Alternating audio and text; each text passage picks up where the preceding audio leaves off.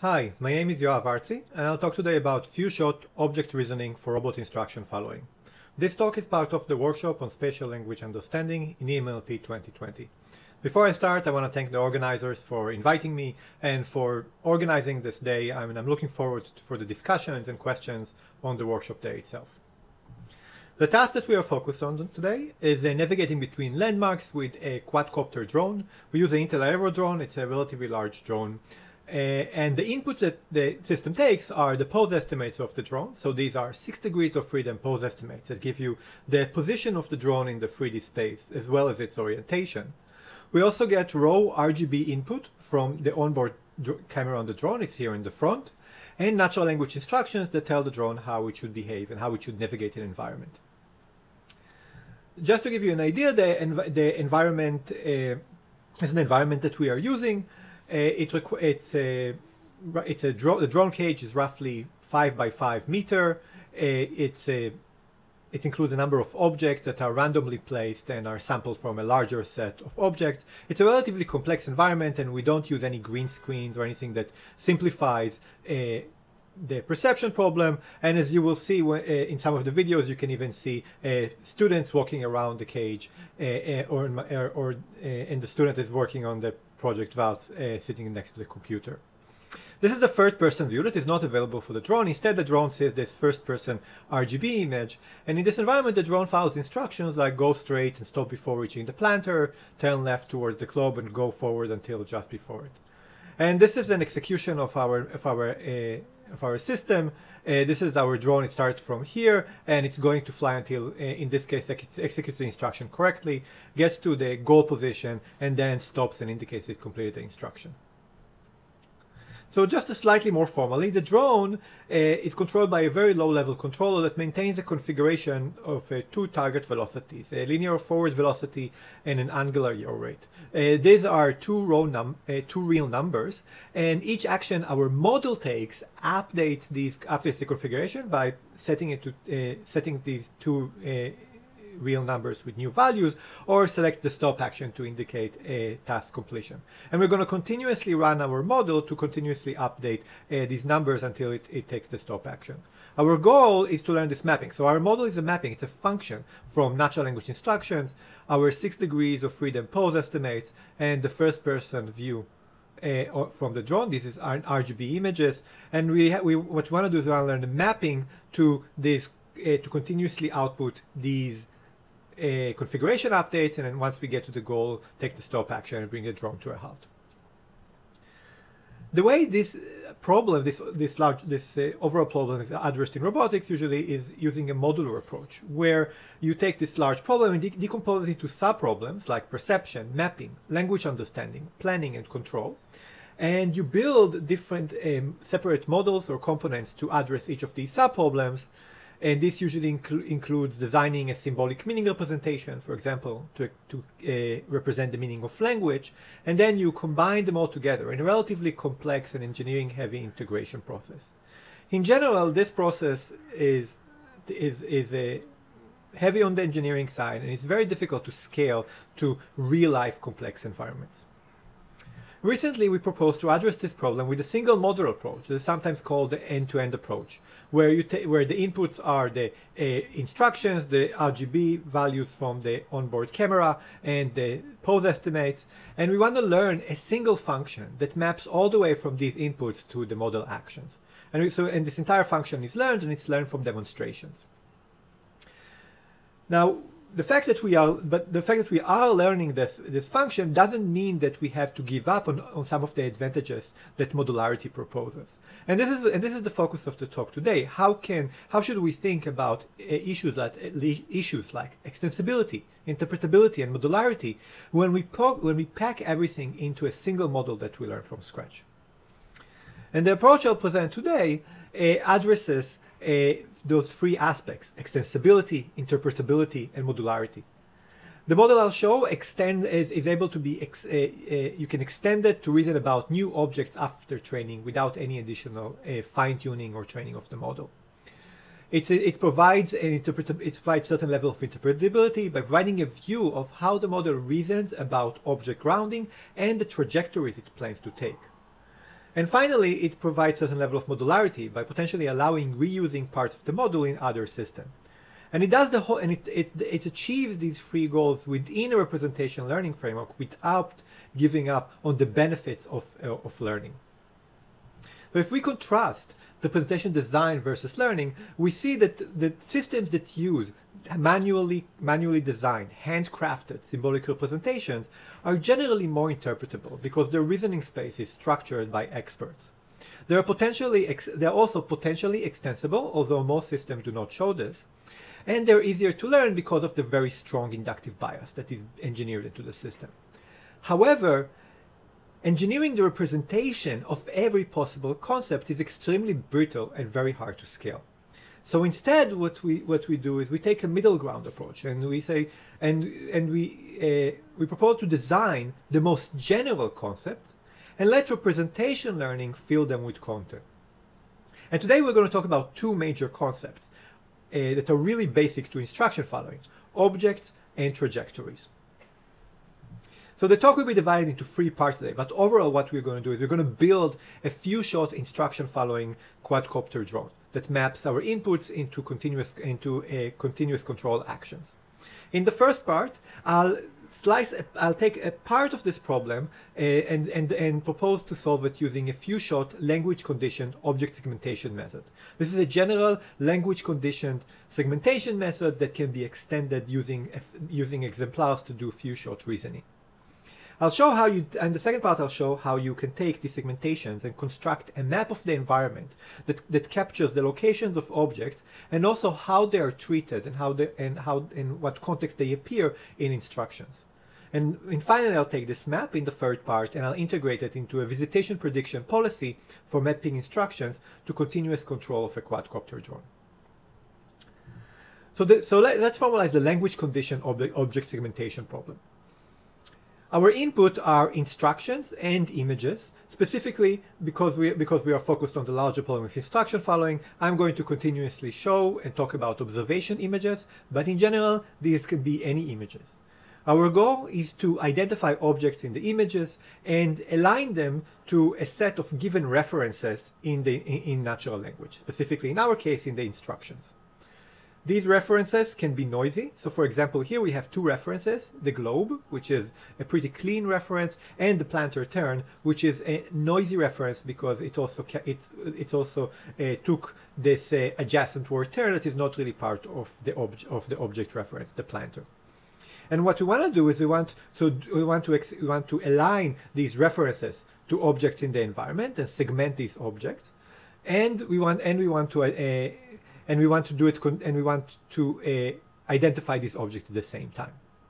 So as we can see here, as the as uh, this is from our drone, as the drone flies, we see this sequence of images. And what we are doing is we are taking these references that are identified that we are given and map them to objects in the environment, and we get this like explicit alignments that allow us to see how the how the how the drone in this case that we are that how, that we'll have when we combine this approach into a policy later on reasons and grounds uh, reasons about ob object references and grounds them in the environment.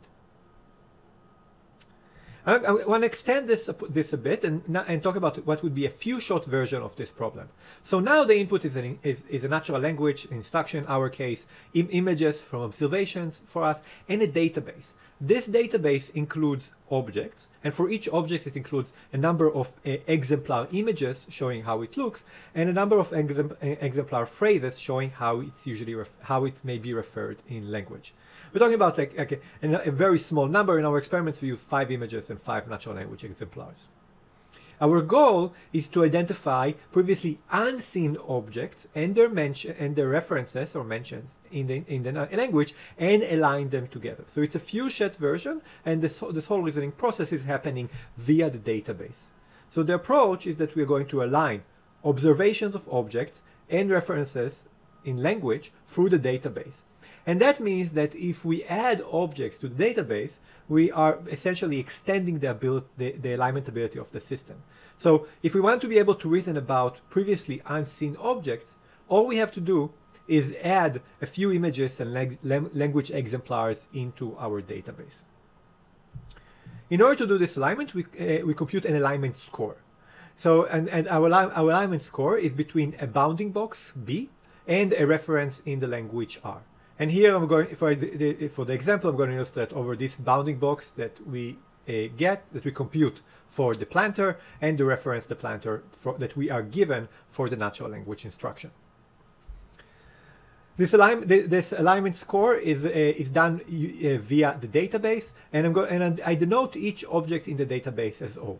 So this score is marginalized over all possible uh, all objects in the database, and it's computed as a, as a, as a combination of two quantities, two probabilities.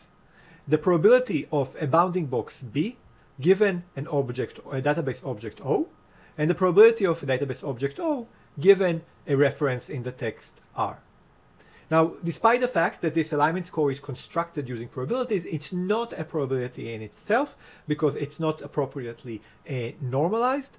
Uh, it's it's simply an numerical score, but the nice thing about it, because it's probabilities, we're going to get this like bounded uh, numerical score, which will really help uh, later on when we use this approach in uh, within a, a complete policy.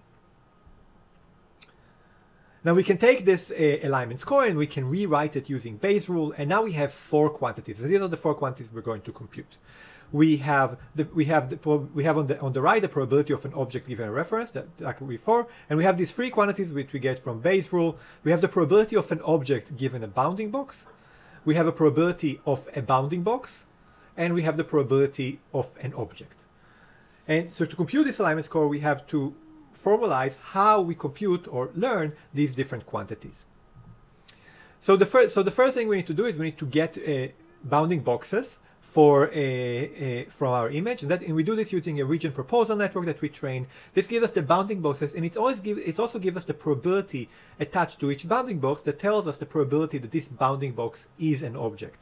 Now, this is not exactly the probability of the, the, the PB, the probability of the bounding box, but uh, it's it's a sufficient uh, it's sufficiently uh, effective proxy. So we're going to use that value we get from the region proposal network as PB. And we're going to assume that PO, the probability of an object, is uniform over all the objects in the database. So this gives us two of the four quantities we have, two of the four quantities that we have to compute. The, the third quantity is the probability of an object O given a bounding box B that we have here. We compute this using a visual similarity measure. So we, we are going to learn a visual similarity metric, and then we use kernel density estimation with symmetric multivariate Gaussian kernels that marginalizes for each object over all its exemplars uh, that in the database. For the fourth quantity, the probability of an object giving a reference, we compute this using a very similar, uh, a, a, a, similar process. This time we use a text similarity measure uh, with pre-trained uh, word embedding. So specifically we use GloVe word embedding.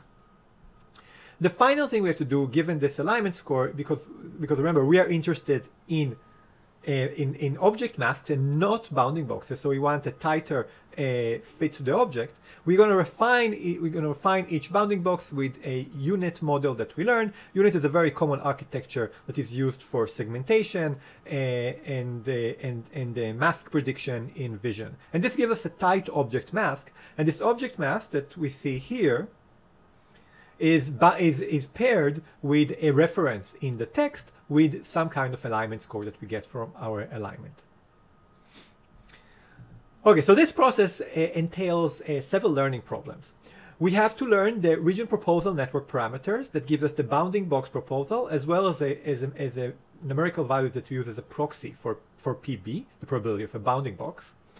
We use an image, we need to, we need to estimate the, the, the uh, parameters of an image similarity measure that will allow us to compute the probability of O given B, an object in the database given a bounding box. And we need to estimate the parameters for the U-Net architecture that allows us to, to refine the bounding boxes into masks. We don't need to estimate we, we, for, for the text similarity measure to, that we use to compute P of O given R of the object database, uh, object, refer, object in the database giving a text reference. There is nothing to train. We, we just simply do this using uh, GloVe embeddings, uh, so our pre-trained embeddings. The challenge in learning these uh, these free elements uh, of uh, is that we really need large scale, heavily annotated visual data, uh, data with bounding boxes, with uh, with uh, masks for refinement, with a similarity between between different images, and we want this and we need this we need a lot of this data because we need to generalize beyond specific object properties because what we want to do is remember we want to do a few shot reasoning to reason about objects that we haven't seen before uh, during testing time so we're not going to collect this data. Instead of collecting this data and, and, and, annotating it, which is a big effort, we are going to generate this data. And we, we do this using augmented reality techniques we take our drone and we fly it in the in an empty environment. So we just get an empty cage without any objects. This gives us a lot of images in the environment from just a small number of uh, of uh, of uh, trajectories that we collect. We then use uh, models, 3D 3D models of objects to create an overlay where we put different objects in the environment and we combine this overlay with a first person view to create a composite image that that, that has the environment and objects and, and 3D synthetic objects distributed in the environment. Because we generated this overlay, we can also generate labels, specifically in this example for the masks itself, but we can get bounding boxes and, and, uh, and all, all possible uh, other labels for all the tasks that we need to learn. We generate a lot of this data using a, a ShapeNet object. So this is a large repository of uh, 3D objects. And then we can, what, we, what this allows to do is it allows to learn representation that generalize beyond the specific object properties. So we have, and this allows us to estimate the region proposal network, the image similarity measure, and the U-Net parameters for the mask refinement. Okay, so in the first part, I talked about, I formalized the problem of few-shot language condition ob object segmentation. This problem is similar to resolve to a, a referring expression resolution, but it's not exactly the same because we really need to, we need, we need to, we need to, we are talking about, we are interested in small phrases inside a larger sentences, which are uh, instructions, and we are interested in exactly this very tight mask rather than bounding boxes. Now I'm going to take this uh, segmentations and I'm going to uh, and I'm going to construct a map out of them that also incorporates natural the natural language information about how this language should be used. So our goal is to create a map that captures the object location in the environment and the instruction behavior around this object. This process uh, includes four steps. We first identify and align objects mentioned to observation. This is done using the process I just described.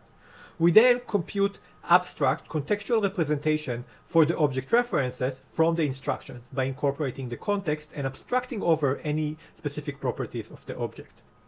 We then have a very simple deterministic process of projecting these masks into the world reference frame and aggregating over time. And finally, we combine these aggregated masks with the contextual information from the language to create our map. So let's see how, how this is done and illustrate using examples. So in the first step, we get bounding proposal networks from a region proposal network. We get object references from a tagger. So given the instruction, we, we, we, we ran a small tagger that we train to identify uh, object references. And we get these alignments that, that we see uh, down here. And so we get a reference in the text aligned with masks in the environment of, the, of objects in the environment. And so this, so this gives us first-person masks aligned to instruction references. In the second step, we take the instruction and we remove, we abstract over uh, the references that we have identified with our tagger by replacing them with placeholder tokens. So for example, if our instruction reaching the planter turn left towards the globe, we'll take this noisy reference, the planter turn, and we'll replace it with object A, and we'll take the globe and replace it with a token object B. Then we then we run a bidirectional RNN uh, that, uh, that, that gives us representations for all the tokens, including these placeholder tokens. This RNN uh, is some is, we, we, are going to estimate its parameters later on when uh, together with the complete uh, policy. So it's going to learn representations that are specific for the task at hand. The hidden state for each of the placeholder tokens is what we call the object context representation. It abstracts over all the, the, the, specific object information and its properties like its identity and if it has any adjectives that are, that are paired with it. Uh, but it includes the words around it, which is the context that indicates how we should behave around this object. In the third step, we uh, project, we take our masks from step number one and we project and aggregate them. Uh, and you do we do this using it's a it's a deterministic process using a pinhole camera model for projection and some and, and a, specific a, a, very simple aggregator for accumulation. So what we do we get our first person uh, masks that are aligned with references in the instruction. We then uh, and this gives us this first person mask here. I'm just here I'm showing just the mask themselves without the background RGB image. We then project this mask using a pinhole camera projection. We can do it because we have we are get, we have the pose estimates that the drone receives, and this gives us a projected mask. So each of these masks is projected into a world reference frame. These projected masks are accumulated over time using an, a deterministic integrator. So given a mask at time t, we are going to combine it with the mask from the previous time step to combine to, to, to create an aggregated mask for the current time step. So because in the first step, uh, we are getting the first mask, we don't have any mask from previously, so what we do is we just pass it through the integrator as is, and then we start by uh, taking this mask, moving into the mask from the previous time step, and aggregating this over time until we get this mask over positions in the environment within the in, in the global reference frame, now not in the first person view of the robot, that show us where the masks are and each for each mask we know how it aligns to a reference in the instruction.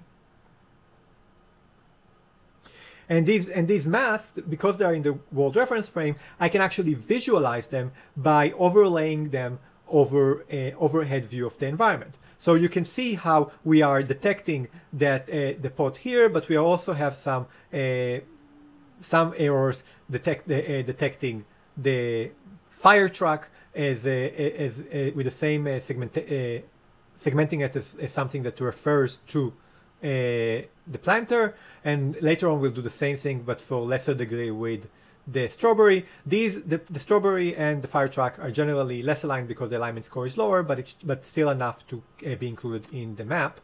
And the globe is once it's observed it's the it's uh, aligns to uh, the globe in reference in the instruction. In the fourth step, we, we, we take these masks and we combine them with a object with the object context representations that we got from the text. The way we do it is we take each position in the environment and we look at what masks are active and we basically multiply them using the alignment score with the uh, object context representation that we compute from the instruction. And this gives us an object context map. So this map is highlighting similar areas to the mask because Uh, of because that's where the areas where the information from the instruction passes through once we multiply with the masks. But this information is now include uh, uh, this in, in this, this, position. This information is now a vector that captures the context of how this object is used in the instruction. So for example, here, this semantic, the semantic information here caption, captures information around object A, and the semantic information that will soon appear here for the globe captures information around object B. So this map information, to summarize, abstracts over refer reference content, which is stripped of the instructions. so everything that is within the reference, it includes for each object the context, the context of its reference in the instruction. So the, so the information from the words around us. And this basically tells the agent how to behave around the object.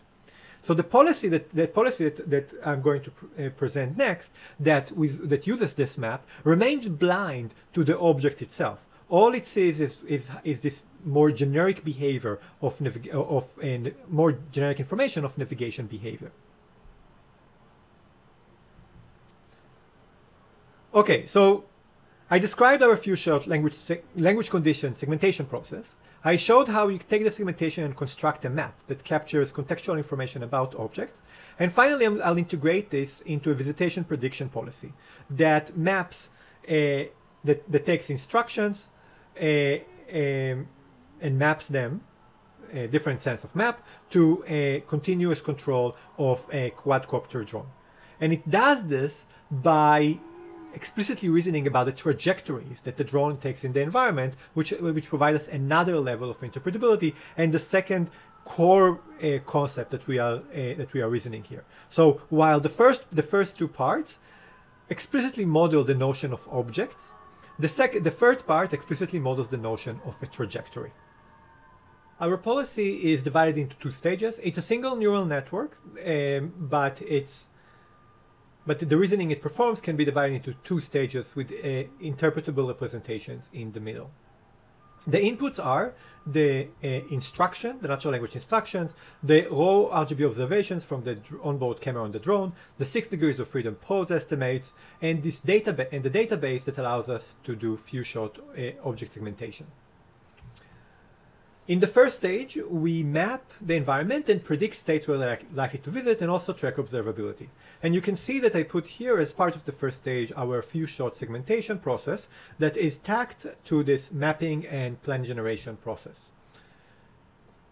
This process generates visitation distributions, which I'll uh, define uh, in a second, and an observation mask in the environment, which is deterministically generated using the properties of the camera and the pose estimate to tell us what parts of the what parts of the environment we observed. Given these two representations, we generate actions to visit high probability states and explore the environment. And these actions are either our configuration updates, so two real numbers to update the, the drone uh, low-level controller, the drone config uh, that holds the configuration, or the stop action to indicate task completion and bring the drone to a halt. Visitation distributions, uh, they, kept, they, visitation distribution capture the, the probability of uh, visiting a state S following a policy pi from a start, a start date S0. So in an ideal world, what we would like to predict is the, is the uh, visitation distribution for the expert policy because this is going to tell us exactly for each state what's the probability that we are going to visit it while uh, executing this executing the instruction correctly. Of course, this is something we don't have access to. We only have access to demonstrations for learning.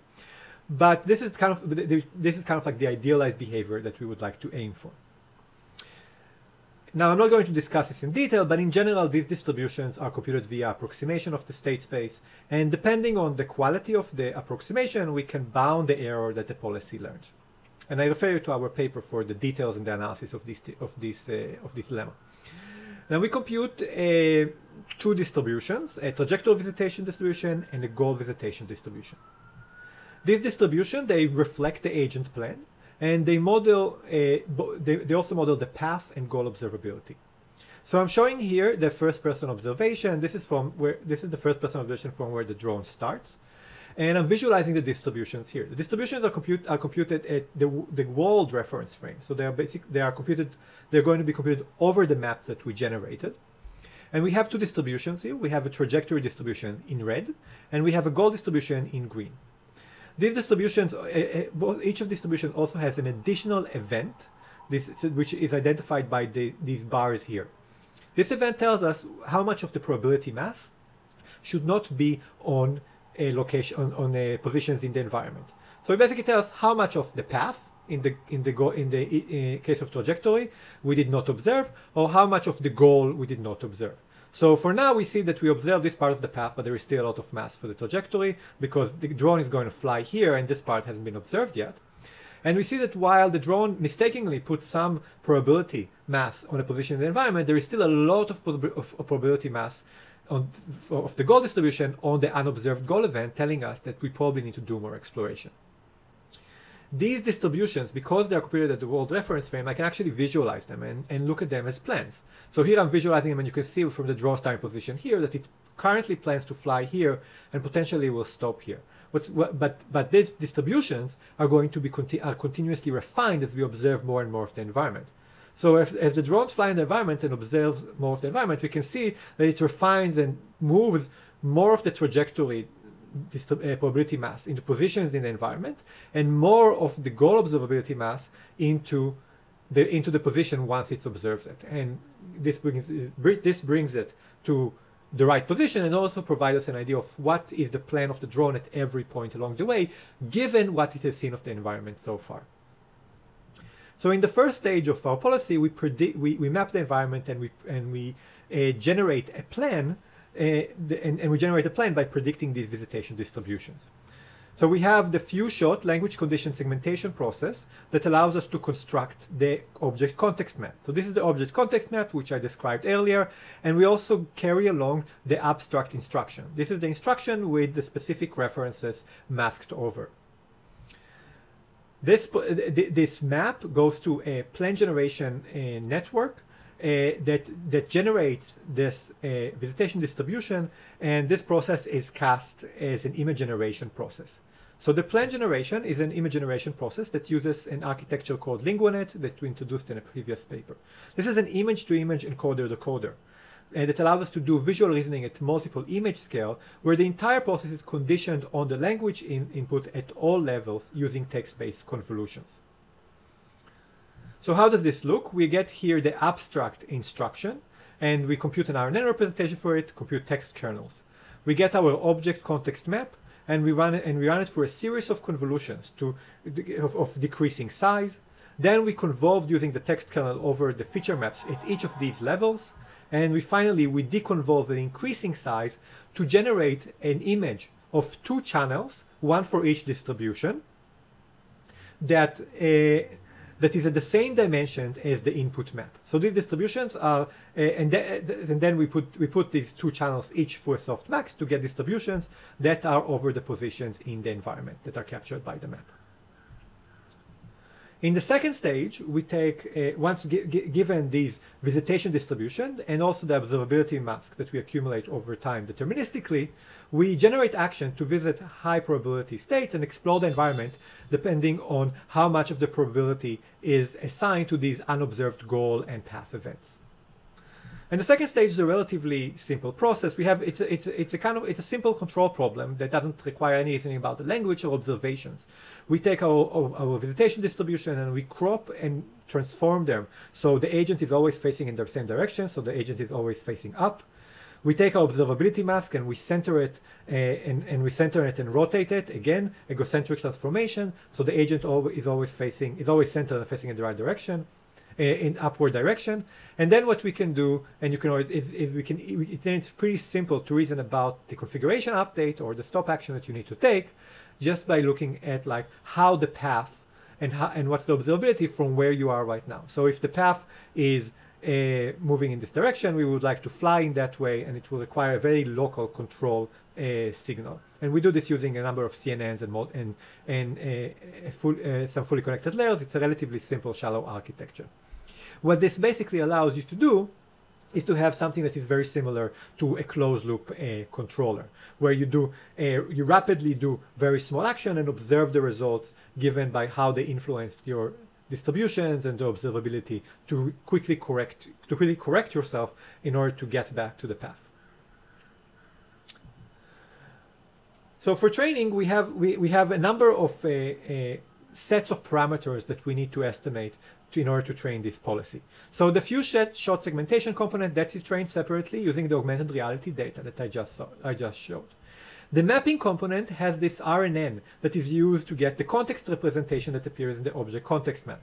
This is something we, this is a, they estimate the parameters of this RNN together with the complete policy using demonstration data and reinforcement learning.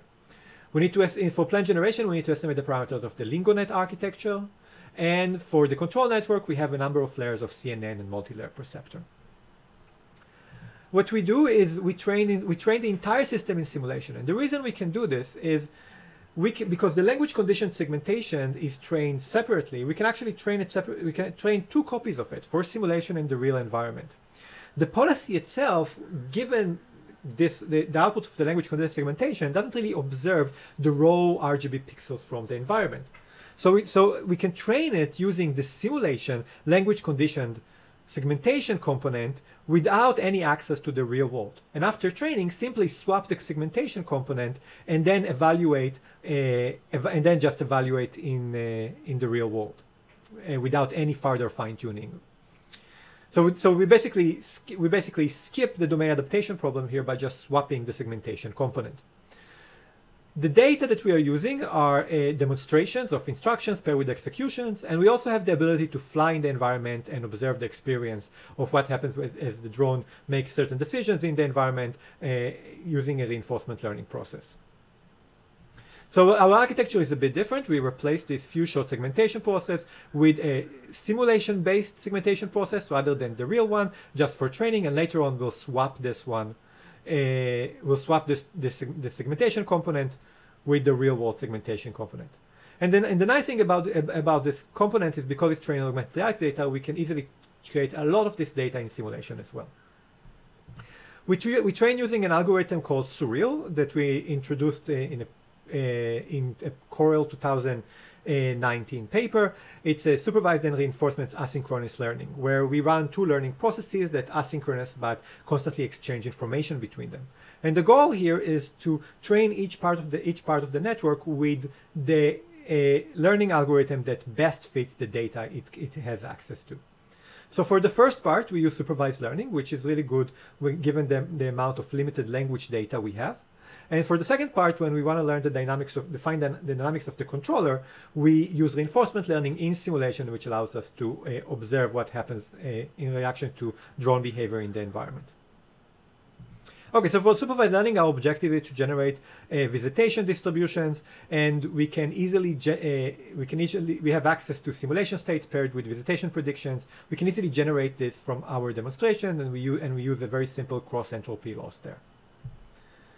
For our reinforcement learning, we use PPO, a, proximal policy uh, optimization. It's a pretty standard algorithm. The most important part here is that the, the reinforcement learning uh, process does not require any extrinsic reward. So we don't need to measure task completion or instrument the environment.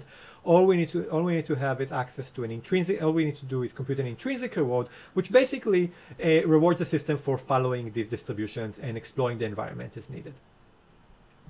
These two processes, they run asynchronously, but they constantly exchange information. We periodically send parameters update for the first stage to the reinforcement learning process to, to be used for uh, rollouts uh, in PPO. And as we do rollouts in PPO, we treat those as demonstrations and send them to the supervised learning process. So what this gives us is that the first stage learns to predict visitation distributions based on noisy predicted execution trajectories. So the trajectories that we get are noisy, but we try to optimize them to predict the correct visitation distributions.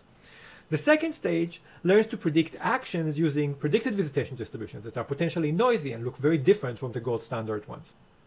For our experiments, we use an Intel Aero quadcopter, a Vicon motion capture system for pose estimate. The simulation is done using a Microsoft AirSim and the drone cage is roughly 5 by 5 meter. All evaluation is done with completely new objects, so we have eight new objects in the physical environment. The database that we use includes all these objects, and we have five images and five phrases as exemplars for each object. The training data includes roughly 40,000 instruction demonstration pairs. All in simulations, we use no demonstration data in the real world or the ability to fly in the real world during training. We did both automatic evaluation and human evaluation. I'm, I'm showing only the human evaluation because uh, all the automatic metrics, although some are better than others, are not semantically uh, faithful completely to the, to the instruction. Only the human evaluation is guaranteed to be uh, completely reflect the semantics of the instruction. So what we did is we showed uh, recordings of executions to uh, workings on Mechanical Turk and asked them to rank them along a rank them on a, on a five-point Likert scale with regard to two questions. Did you get the, the goal right, uh, so just getting to the final position right, or did you get the complete path, or the complete execution correctly, including the goal? And this is a Gantt chart that represents the, the percentages for each uh, of uh, five uh, different systems for each question. So there are, there are five systems here. The one at the top is a non-learning baseline where uh, the drone flies to the in, uh, with the mean velocity to the, the, average amount of time as uh, induced from the training data. As you can see, it does pretty bad.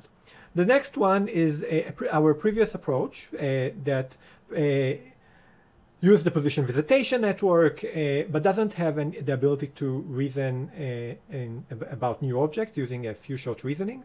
And as you can see, when testing on these new objects, it actually performs pretty bad. So it's just slightly better than average. It gets good scores, so between four and five, four and five on, on the path score, uh, roughly 26% of the time, which is pretty low. Our next, uh, the next system is our approach. That's a few shot position visitation network, FSPVN. It performs significantly better. In absolute terms, it doubles the number of uh, the amount the, the amount of time that it gets a point of four or five on path score to 53% of the time. So this is double than PVN2-SEEN. And this is really showing the effective generalization to unknown objects of our few shot segmentation approach. The next approach is a, our, our previous model, but trained on significantly more data that includes using all these new objects. And surprisingly, it, it so it definitely performs better than uh, the same model without uh, this additional data because now it knows the object and it has sufficient data to train on them, but it still performed worse than our approach. Uh, so roughly 10% uh, in uh, absolute terms less uh, of good scores so between 4 and 5 on Likert scales. And this illustrates the benefit of the object-centric inductive bias that is built into FSVP, FSPVN. Okay, I want to show several examples. I'm going to start with a relatively simple one and I'll then show an interesting one at illustrating some of the uh, limitations of, of, our approach. So in this, uh, so here I'm showing the instruction and move to the right side of the fire truck and looping around it until heading towards the globes, uh, the globe's left side. Uh, this is the robot, this is the drone's point of view. So this is what the drone sees. And this is a third person view that the drone doesn't see. I'm visualizing here the visitation distribution over an overhead view. In green, it's the goal distribution, and in red, it's the trajectory distribution. This bar on the right, this is the uh, unobserved goal event. So how much, uh, how convinced the agent is that it did not observe the goal yet. Uh, so this is a, this example works pretty well. It's going to it's it identifies the phrases the fire truck and the globe, and it's actually going to align to them pretty cleanly in the environment. So here goes the fire truck, and here goes the globe. So it segments them and identifying pretty cleanly in the, in the environment, completing these uh, instructions uh, effectively, uh, following the correct path and reaching to the right goal. This is a more messy example, and it potentially illustrates stuff that would fail in a modular in a modular approach where errors are easy to cascade, but in our system, the policy actually learns to be more robust to it. So uh, here the instruction is keep the red Lego to your right. So this is the red Lego. As you as you fly around, as you mm, around it to face the beige fence, past the strawberry uh, on your left, and move forward to stop just past the globe. And this is the first person observation. And as you can see, when, when we start, the agent is pretty certain that it didn't observe the goal. Most of the mass of the green distribution is on the unobserved goal event. Now, there, you're going to see a few things once I start it. So first of all, our environment is noisy because we have all this like very complex background around the cage. And sometimes uh, the drone is going to just align to things that are completely outside of, uh, of the cage. We also, you also notice that, uh, and we didn't build into our model this notion of a, a refer an alignment should be permanent or should be consistent over time. So if you align an object, a reference to a specific object in an environment, you shouldn't align it to other objects later on, uh, even if they look uh, reasonable or the alignment will be pretty weak. You should just uh, avoid this kind of alignments.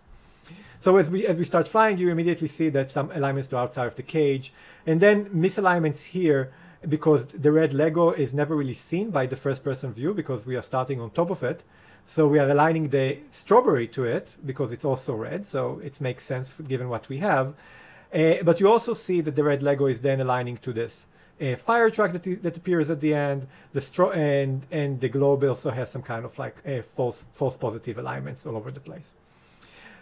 So this is so this this illustrates limitation in both modeling uh, and noise in noise in the in the in the in the segmentation. But overall, our policy learns to be uh, robust to these issues.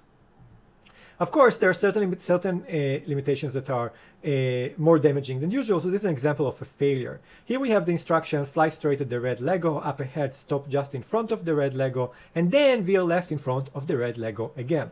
So the same object is referred to over and over again.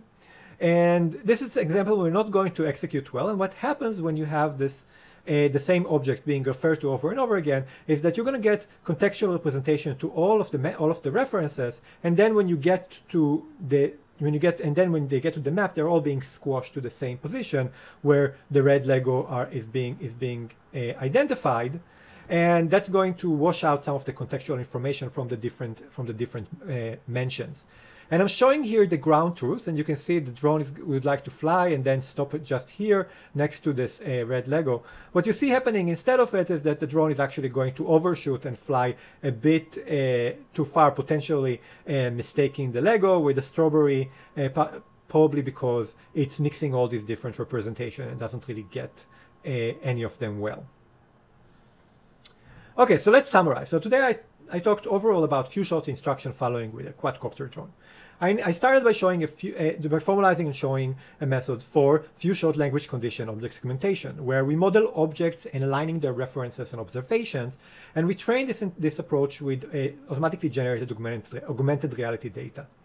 Then we take this segmentation and we construct from that an object context map. Uh, and which incorporates contextual information, text information into a spatial map without specific object of information. So everything that is in the reference has been abstracted away, which is key for the few shot reasoning that the policy uh, that the policy does later on using this map. So we integrated this into a visitation prediction policy for mapping instructions to drone control, where we generated trajectory plans over object context map plus training in simulation only by swapping the segmentation component later on to move to the real world. So there are two, from as far as representation design, there are two overall concepts that were that I model today. Uh, these are objects and trajectories. These are very general concepts rather than modeling specific object types or object uh, or specific behaviors that we would like to do. Our approach leaves some open questions that uh, I think are uh, important to address in, in the future. Uh, so first of all, uh, okay, so we have this like few shot approach. It raises the questions of how can we elicit these exemplars to add to a database uh, from human users, potentially within while they're interacting with uh, the system. there's also the question of how to generalize from objects to more general object types, whereas generalization is slightly harder in our approach because we specifically look at specific objects object types is it will have to take this, the, the kind of generalization we have and to take it a few levels up. Uh, finally, there is also the questions of like what other uh, object properties should we model. And we already saw an example where uh, permanence and reference consistency are really important to model so, and can drastically improve the model behavior. The work that I described today uh, is a result of uh, several papers. The most recent one uh, includes this, uh, the, the few shot reasoning in, that was just uh, presented a few days ago in CoRL 2020. The other papers are in CoRL 2019, CoRL 2018, uh, and RSS 2018, and you can go to my website and find all these papers. As pretty evident from here, all this work was done by my PhD student, Valts Blukis, together with a number of collaborators over the years that worked that uh, helped with specific aspects of the system along these four papers, including Dipendra Misra, Eyvind Niklasson, Nataly Brukhim, Andrew Bennett, and Ross Knepper. The code is online, and I uh, and uh, I encourage you to download it. To we have a, even if you're not able to create our environments, although we can help you do that. Uh, you can run everything in simulation, and already that allows you to do some interesting experiments. So thank you very much, and I'm happy uh, to take uh, questions. I'm looking forward to take questions in the workshop day itself and for the discussion and the other presentations. Thank you.